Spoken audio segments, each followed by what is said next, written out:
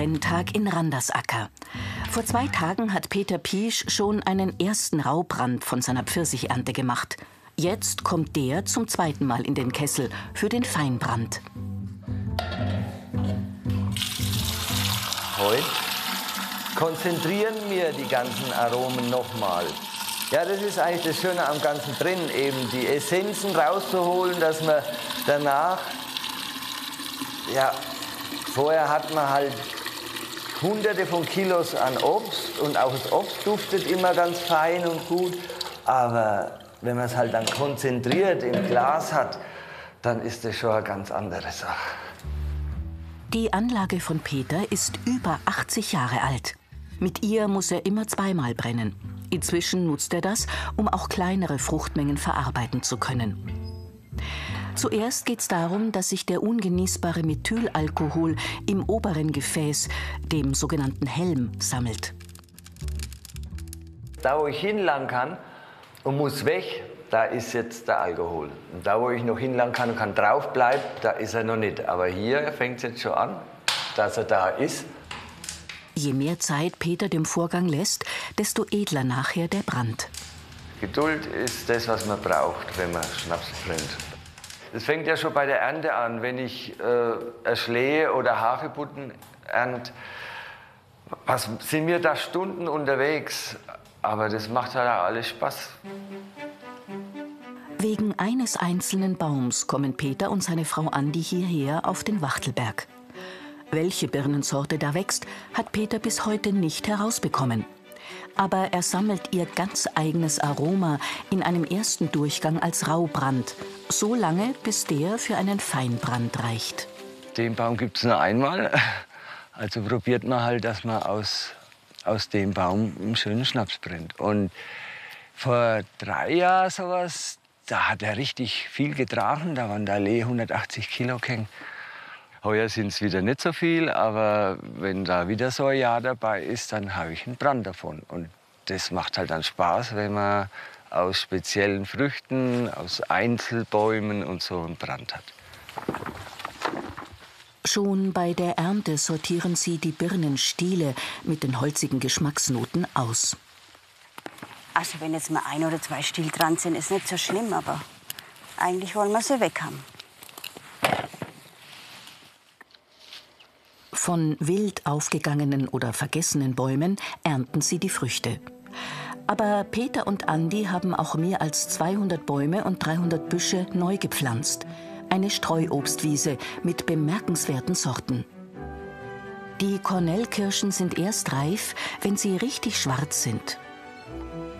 Bei den Zipaten, einer Pflaumenart, wartet Peter, bis alle Blätter abgefallen sind. Die Speierlinge aber sind erntereif, wenn die ersten Früchte am Boden liegen. Peter hat das immer im Blick.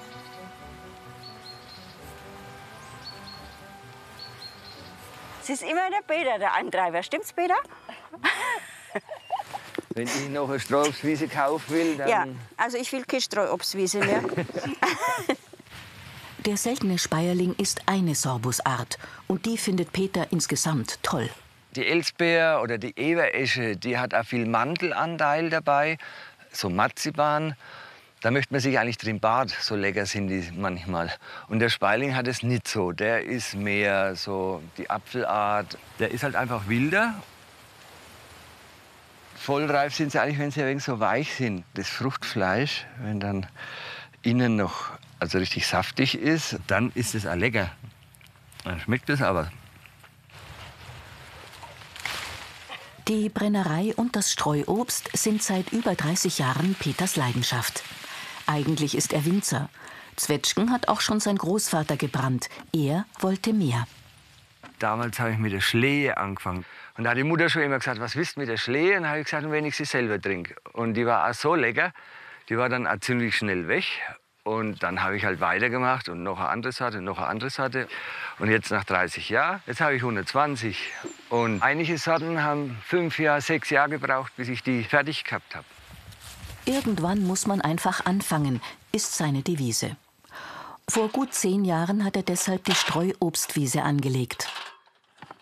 Auch bei der jungen Eberesche wird es in diesem Jahr nicht für einen eigenen Brand reichen. Der Peter braucht halt auch immer Action. der kommt weniger so zur Ruhe. Aber er sagt, er ist ausgeglichen. Naja, kann ich schon bewundern. Also, und er ist eigentlich auch immer sehr gut gelaunt. Vielleicht, weil er auch an das große Ganze denkt. Ich kann mir schon vorstellen, in 30, 40 Jahren, wenn die Bäume mal so richtig schöne, knorrige, alte Bäume sind und ich schon lange nicht mehr da bin, dass ich dann irgendwann mal fragt, na, wer hat das gemacht? Und naja, das sind sozusagen meine Kinder, weil ich habe ja keine Kinder. Bis jetzt ist er einer der wenigen, der Streuobstwiesen in dem Weinort Randersacker anlegt. In sein Haus der edlen Brände bringt er ab dem Herbst bis weit in die Wintermonate immer wieder frische Früchte als Nachschub. Heute ist die Ausbeute klein, aber auch solche Mengen meischt Peter ein. Für das Kernobst nutzt er einen alten sogenannten Muser. Bestimmt 25 Jahre habe ich das schon. Jetzt ist einmal ein neuer Motor hinkommen und das funktioniert noch voll. Ist klein, aber absolut effektiv. Man wird es gleich hören.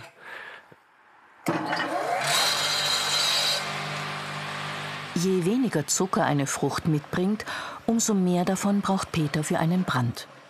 Die Früchte liegen dann mehrere Wochen auf der Maische, bis die Gärung abgeschlossen ist. Zurück zum Feinbrand. Peter legt Hartholz nach, das langsam brennt. Der ungenießbare Methylalkohol läuft schon ab. Noch wartet er auf das Stadium, in dem die Fruchtaromen am stärksten sind. Das ist jetzt die Kontrolle, das Erste, was man sich einschenkt, damit man weiß, wie es nicht zu schmecken hat. Ne? Also wenn man da jetzt rein riecht, riecht man halt Aceton, Uhu und die Vorlaufkomponenten, die man halt nicht im Brand haben will. Beim Feinbrand muss sich Peter voll auf seine Nase verlassen, um den richtigen Zeitpunkt zu erwischen. Das ist noch kein Genuss.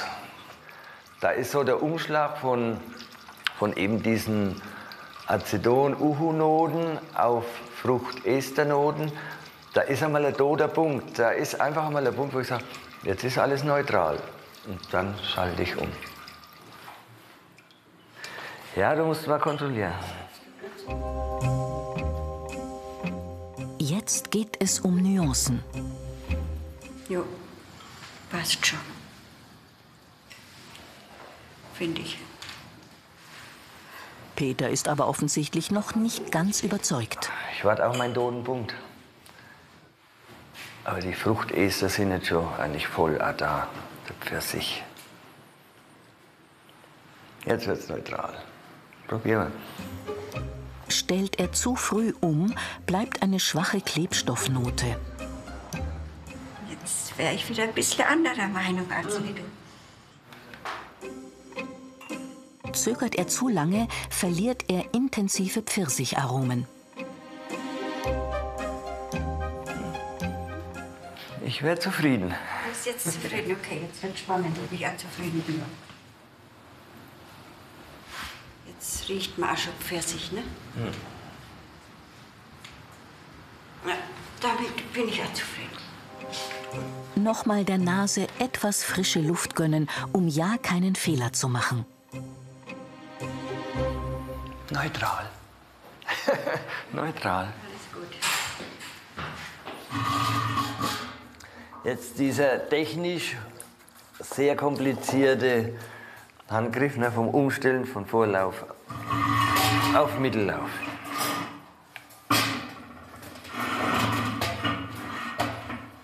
Äußerst kompliziert. Der Keller, das ist Peters Schatzkammer. Hier liegen die fertigen Brände. Das ist hier mein Lebenswerk. Das sind Tausende von Arbeitsstunden. Und ich kann fast über jedes Fass irgendwas erzählen. Die Geschichten, die gehören immer zum Verkosten und runden das Gesamtbild ab. Trinken tut Peter Piesch seinen Schnaps übrigens nie beim Brennen, sondern immer erst nach dem Reifen und Filtrieren. Und dann gerät er, etwa über seine Erdbeere, ins Schwärmen. Zum Wohl.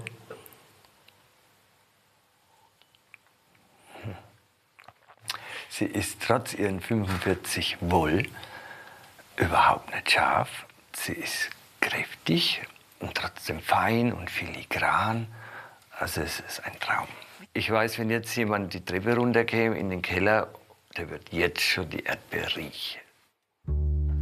Die Aromen seiner Streuobstwiese werden nach und nach dazukommen. Wenn ich abends nur mal als Muse da runtergehe in den Keller und schaue mich hier um, das erfreut mich halt total. Mir macht es so viel Spaß, dass man die Aromen einfangen kann und eben auch seltene Aromen dabei hat und, und dass das alles auch noch was schmeckt.